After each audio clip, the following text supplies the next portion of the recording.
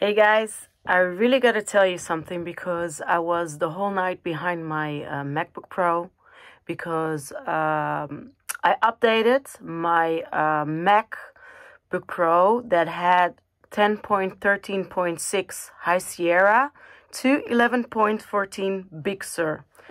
Um, the thing is that uh, my old MacBook, the old uh, software, used to use iTunes and since I updated it, it doesn't see any iTunes, nor the media, nor the music files. So the big question is uh, what happened with the music files? What happened with iTunes? So what I did is um, I checked on my Macintosh HD. I checked what uh, they did with the music files, and what I saw is uh, this. Let me switch my camera is that it used to be iTunes, iTunes Music. Uh, now it's music. So I was checking how the folders are organized. And now instead of iTunes and then the subfolder iTunes Music, it's now music and then media. And the most important folder is this music library folder. Um, that used to be the old iTunes library folder .itl or .xml. In my case, it was iTunes library .xml. The new one is called music library .music library. What did I do to solve the problem of uh, not seeing my music and my lists? I have my external drive right here. What I did is my old iTunes folder. I um, updated it well, I didn't update it. I changed actually the name of the folder where my iTunes was because I'm keeping my iTunes in an external drive. And um, I named the main folder exactly the same as on my uh, Macintosh HD, which is called uh, Music, then Media, and here is where all your loose folders are. So what did I do? I renamed this music folder, which used to be iTunes. Let me show you. It's a bit slow. Uh, I thought it was really important to tell you about this because it's not mentioned anywhere. This music folder used to be called iTunes. And in iTunes, there used to be an iTunes music folder with the iTunes music folders. But before it switched into the music folder, which is now media, uh, there was an iTunes library in the iTunes folder, which is here. This used to be iTunes music, and this used to be the old music folder. I renamed the iTunes music folder. I called it music as on the HD I renamed the iTunes music folder into music and then the music folder into media. Now, a really important step that I did is in this media folder where all the music folders are loose. You can see that here. Sorry for me shaking. I just want to upload this for all the people that are having troubles. So uh, maybe I'm going to upload a better video later. But what I did, the old iTunes folder, as you can see, was iTunes Music Library or iTunes Library.itl or iTunes Library.xml. That folder you actually have to move in your new renamed media folder. And it's just in between your music folders where, you know, this little thing is. Sorry, it's not that fast anymore. Um, since a new update, it's doing this a lot. Uh, I will um, see what I can do to make it faster.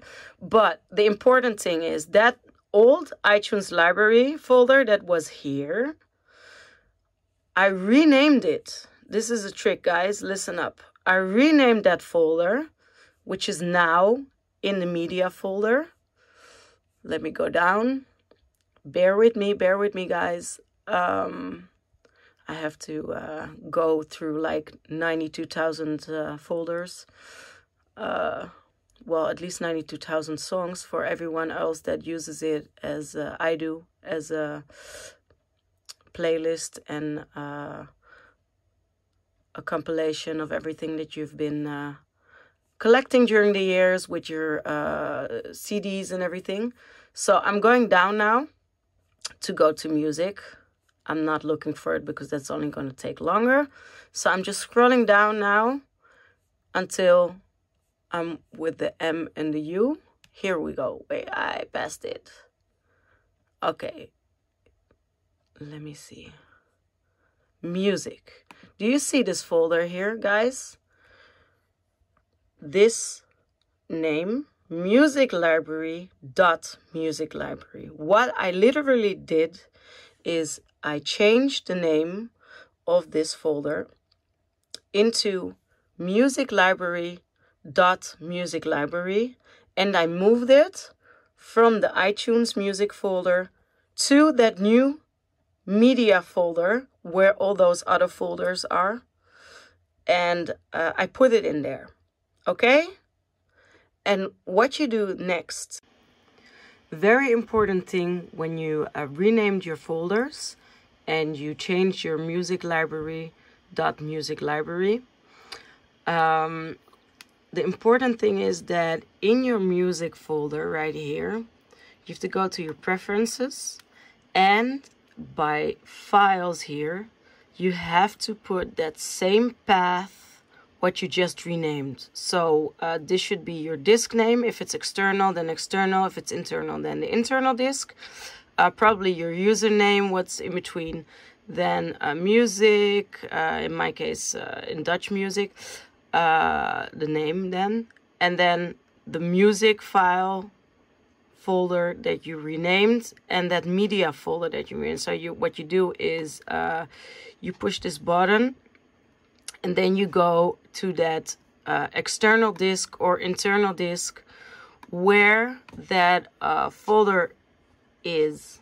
So uh, in this case, it's the this disk and then it's by uh, my username.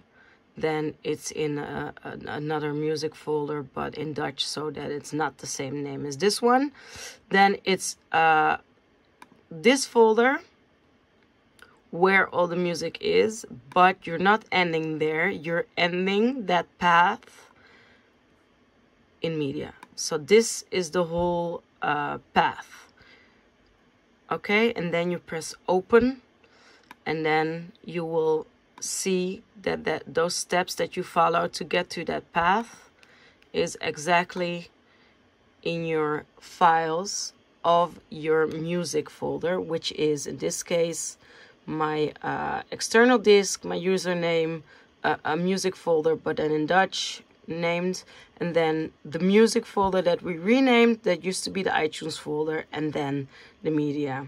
So that's very important before you start importing uh, your library and the importing of your library when you renamed everything is uh, also to be done here either by uh, import playlists by library or import and then what you do is you go to that music library dot music library folder.